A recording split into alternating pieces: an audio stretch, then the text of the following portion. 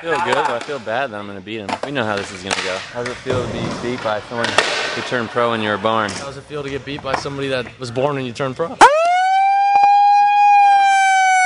You know what time it is? All right, bring it in. Guess what we're doing? We call this the Battle of the Berrics. We got Mike Carroll, Mike Mo, boss, employee. Don't let that affect the game. Pay cuts will be talked about after the game. Let's begin. Do you guys sterilize that whistle after everyone? No, we put it in Lizard King's ass, and then we just let that thing ride. Let's not worry about the whistle. Worry about flip tricks. Here's the deal: offense, keep it clean. Defense, everything except eye gouge. Steve, what else we got? No feet on the ground, no grabbing, none of that, no reach arounds. Our celebrity ref today will be one.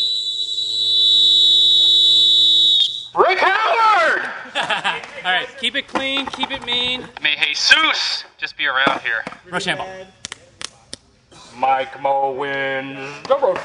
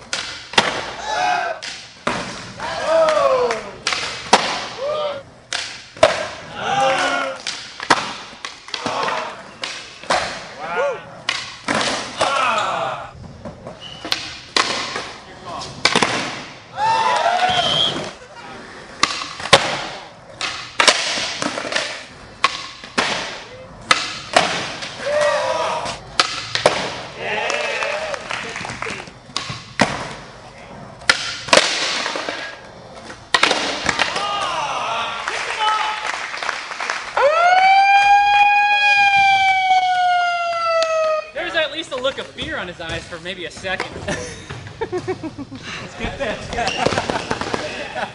And the winner is. Mike Mo.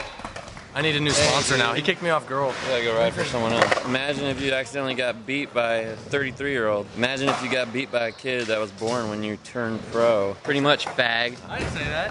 I wrote fag. Oh, you wrote fag.